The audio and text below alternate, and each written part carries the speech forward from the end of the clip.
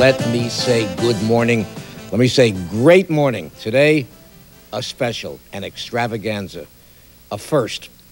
We're bringing back our two part interview with Mitchell Parish, the man who wrote Stardust, one of the most beloved and gifted lyricists in all of music.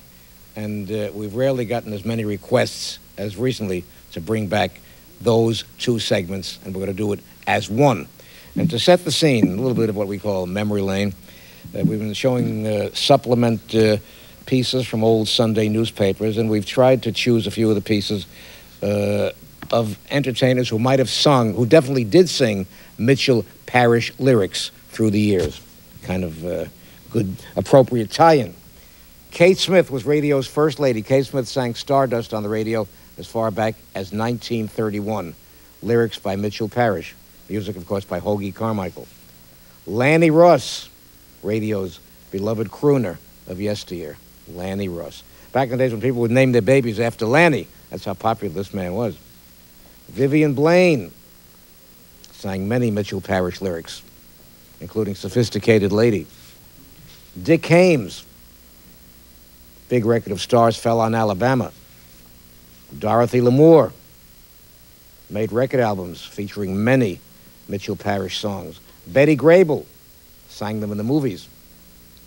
The very able Miss Grable. Jeanette MacDonald, golden voice of the screen. Alice Faye sang so many songs written by Mitchell Parish. And so it goes. Everybody you could think about, not only the ones to be found in the Sunday supplements, sang Mitchell Parish songs. Following these words, my friends, part one and part two. Then after the uh, show, a little bit of a trivia game with you and me and Richie Ornstein. Right now, though, we lean back and get ready to go back for both parts of an exclusive, rare, recent chat with the brilliant Mr. Mitchell Parish. Stay here, watch, enjoy.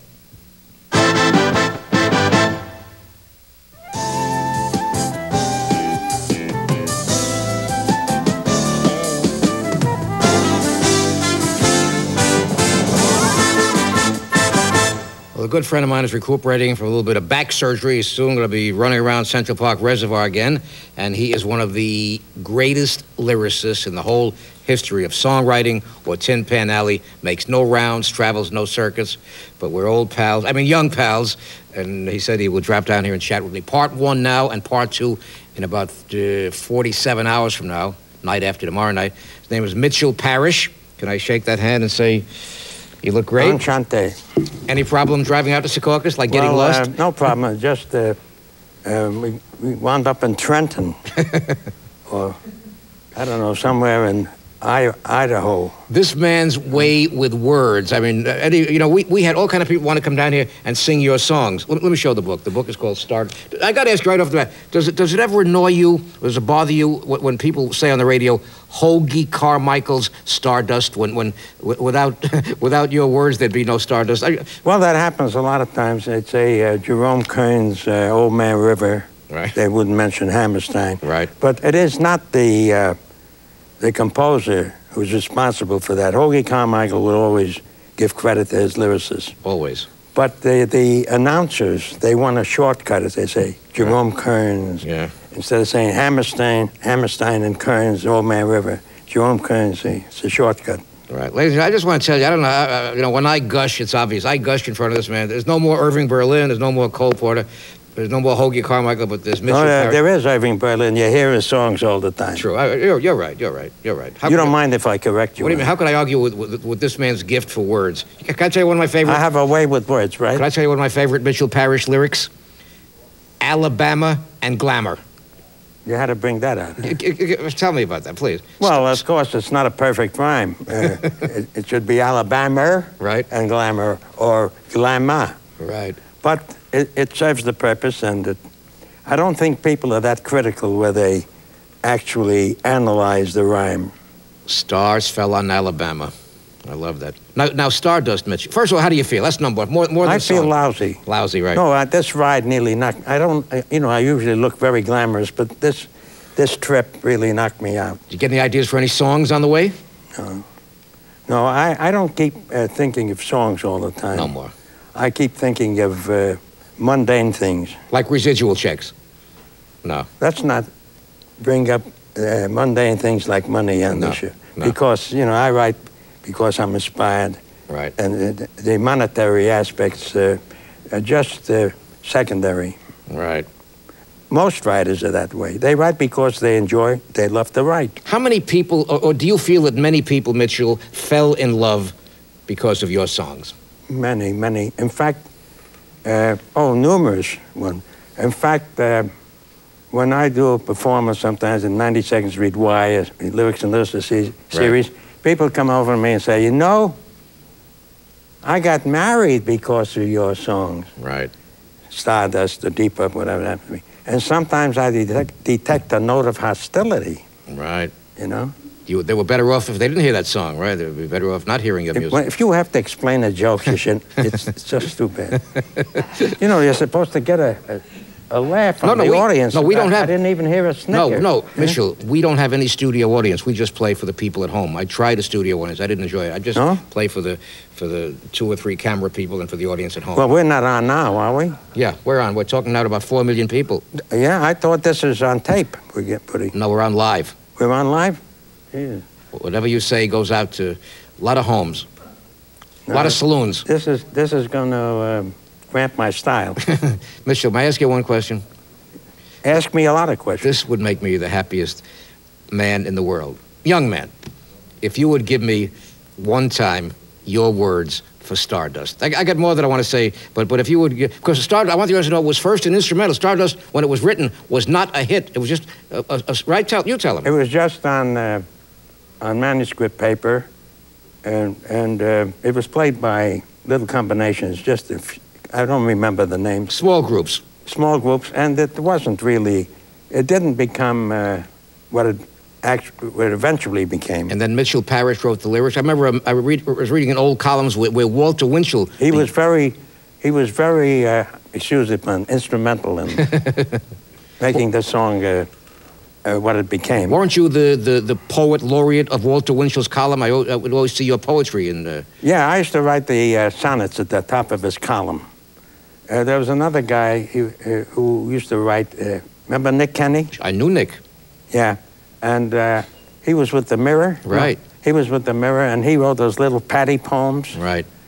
and uh, he was known as the Noel Coward of the slums. Right. He would put my name in his birthday box four times a year. Nick He, he had people in the birthday box who were dead for 20 years. That's right. it was great. Mitchell, if you would do me that one favor, I know a lot of people are going to want to record this and save it. This is, if you would give us your words, the words you wrote for Hoagy Carmichael's music. Uh, This has to be the most recorded song in the whole history of the world. Do you have one favorite recording of Stardust? Well, there are a few, uh, uh, you know, it's like a mother with her children, you know. Right. Uh, there are a few recordings, uh, two of my favorites, I think they run neck and neck, is Nat King Cole Right. and Frank Sinatra. Didn't Frank make a record of only the verse? That's right. He recorded it fully, the full song, and uh, at another time, he recorded just the verse, and the record was known as the Verse of Stardust. That was the name of the record. Right. No chorus. No chorus. I don't know of any other uh, case where this was done. Do you? Not really. There was once an album called Verses Only There was? by a lady singer years Really? ago. Yeah, but but uh, I never knew that. but never by Sinatra of any other song with only the verse. yeah, but I, I, that's a very interesting record. I'd like I'll- to know about it. I'll find I'd like you the copy. I'm sure Stardust is in that album. Oh, yes. But uh, it, it's a very interesting record. Uh, uh, idea, That concept, yeah. yeah. Ladies and gentlemen, this is Americana. This is a thrill of thrills for me. As I started to say, we could. Many people wanted to come here and sing today. I said, no, I got the man here who wrote the words. If he would just recite the words, you know, we told Madonna. Well, I sing it too, you know. I've been performing. Either way, You either- know, you're talking to a star. I know that. Either, either way, ladies and gentlemen, a little bit of Mitchell Do Parish. you want me to tell you how it happened? yeah, please. I became please, a star? Please, how you became a star. Yeah. I was uh, not thinking of, well, writers, you know, they sing, to sell the song to the publisher, they have to demonstrate it, so they, they sing a little bit in the publisher's office. Right, But one day I received a call from Maurice Levine, right. I know he's a good man. the, uh, the artistic director Good of producer. the 90 sec- the Lyrics and Lyricists series. Right. And he said, I'd like you to do one of our shows. I said, I never sang before. He said, this is over the phone. Let me hear you sing uh, Stars Fell, Alabama. So over the phone, I said, we lived our little drama. We kissed in a field of white. He said, you're in. So I became a star after that. Got the job. I got the job. And I've been performing ever since. Give me the opening line of Sophisticated Lady. I, I could do one year of the songs this man wrote. Give me a little bit of Sophisticated Lady, please. They say, into your early life, romance came. And in this heart of yours burned a flame, a flame that flickered one day and died away. I want the audience to know one thing about this man, and I love him. We know each other a long time. He is normally very cantankerous and facetious and sarcastic and biting. To get him in a nice, mellow mood like this, not yelling at anybody, it's, it's nice. I'm, I'm very touched. I'm seething inwardly. I know, I know that feeling. I know that. How about one more, one more Duke Ellington uh, collaboration? One more memory of any more? Uh, Well, I did a thing uh, where my name isn't on it, and it's an old story. Mood Indigo. Right, right. You know about that? Many times when names were omitted for uh, Yeah. political reasons. Yeah, right. I did that. I did a few with Duke Ellington. I did one called I'm Satisfied. and, uh, How about Glenn Miller? well, Glenn Miller, that's the only thing I did with him, and it happened this way. Uh, he, he had this tune, you know, that eventually became Moonlight Serenade. A couple of jiggers of Moonlight. Is that the one? What? The Moonlight Serenade. No, not uh, Moonlight Madonna. Uh, there was another one. Moonlight Cocktail? Oh, Moonlight? Cocktail. I'm No. mixed up. I apologize. Right. I, I accept it. Take it out of my salary. Right. Right. Um, uh, he wanted, that was his theme tune. you Right. I know. So he wanted the lyric, lyric writer who had written the lyrics for Stardust to write the lyrics from, and, and eventually it became Moonlight Serenade, Right. which is as big as Stardust today. We're going to do that on part two. I'm chatting here with Mitchell Parish. We are launching a fantastic. There was also a Broadway show that ran alongside. Oh, yes. Who's the It- publisher? The it- publisher is. Uh, Uh, Harry N. Abrams, Oh, he they- publishes these art books. They do great books. Beautiful, beautiful uh, work he put This he- is the beginning of the beginning of a salute to Mitchell Parish. We're going to be winding up now and doing part two with a whole bunch of people who want to chat with you. Following these words, my friends, we shall return with the one and the only and the great Mr. Parish. Last time I saw Parish. Be right back. Stay here.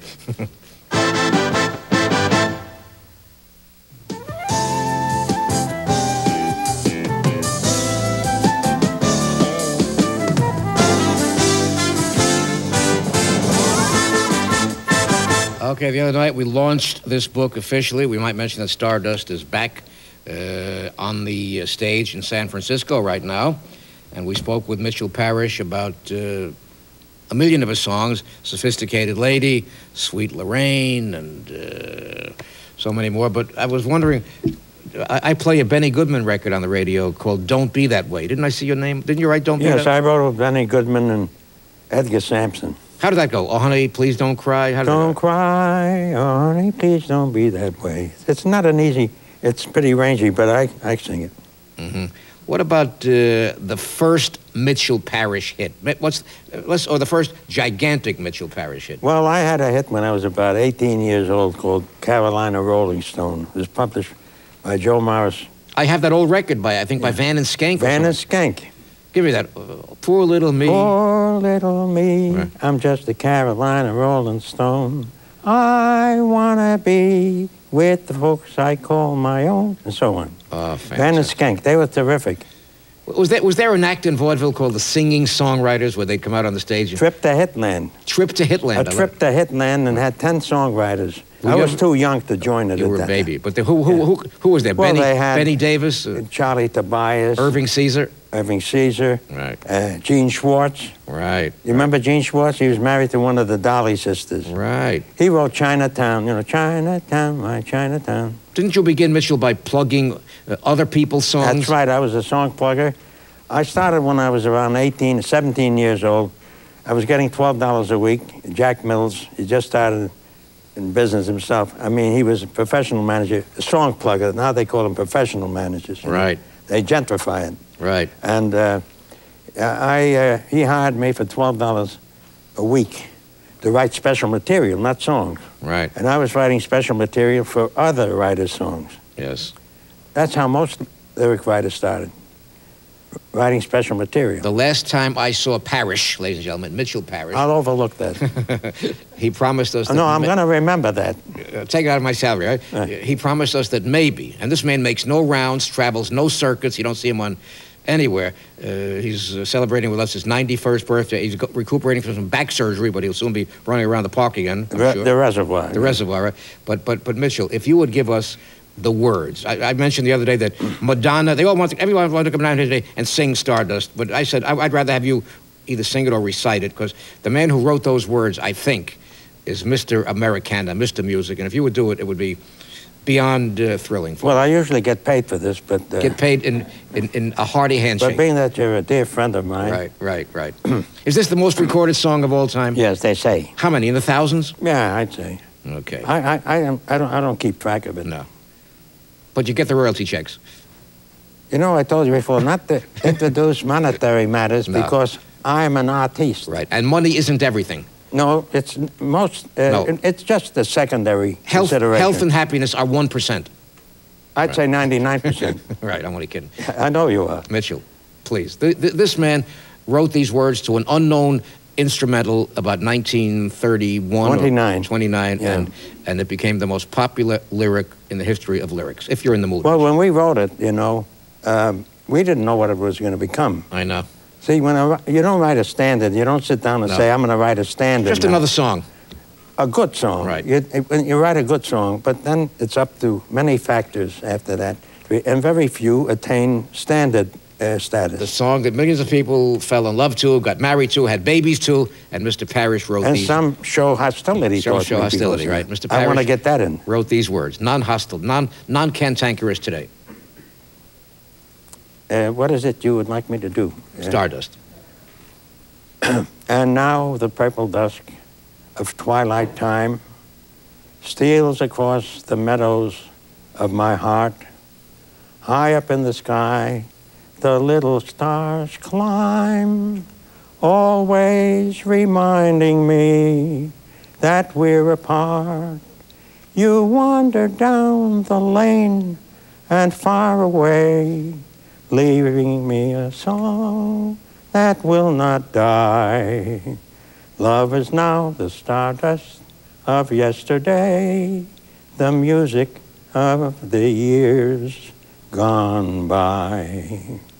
Sometimes I wonder why I spend the lonely night dreaming of a song. The melody haunts my reverie, and I am once again with you when our love was new, and each kiss an inspiration. Ah, but that was long ago. Now my consolation is in the stardust of a song beside a garden wall. When stars are bright, you are in my arms.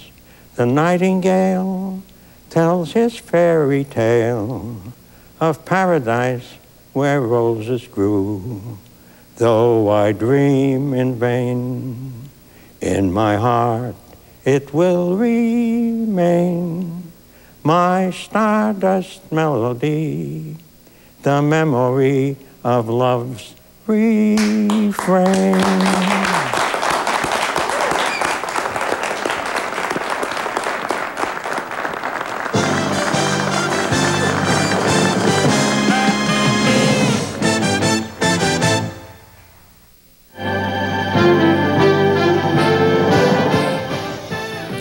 Reminiscing here, part one, with the very poetic Mitchell Parish.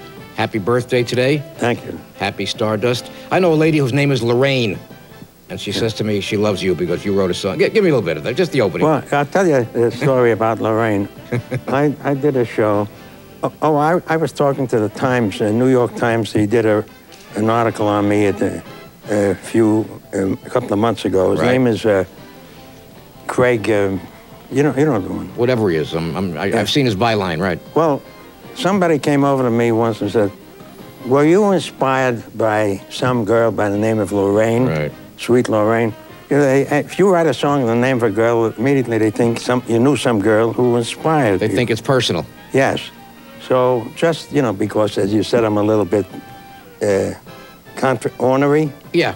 So this sweet uh, lady comes over to me and says, were you inspired by, who inspired you to write Sweet Lorraine? Was it some girl? I said, yes. Yeah. I said, when I lived on the Lower East Side, there was a girl by the name of Sadie Moskowitz. That's Lorraine, right. And and, wrote. and, I, and that inspired me to write Sweet Lorraine. Every honeybee And we fills say with you. many Many more more happy happy around birthdays to a marvelous poet, lyricist, man named Mitchell Parish. A little bit of trivia, and yell it out at home or in your bedroom or in your barroom. I'll hear you. If, uh, if you yell good and loud, I'll hear you. Richard? Here we go. Who portrayed Leo Schnauser in the TV series Car 54? I give up. Al Lewis. Oh, Grandpa. The Right. grandpa. Whose hit record in 1952 was With a Song in My Heart? Jane Froman. Correct. Who wrote the song I've Got My Love to Keep Me Warm? Irving Berlin. Give Oh, you're hot one. today. Tough Here's a real tough one. In 1950, who had the giant hit Rag Mop? It was a big group.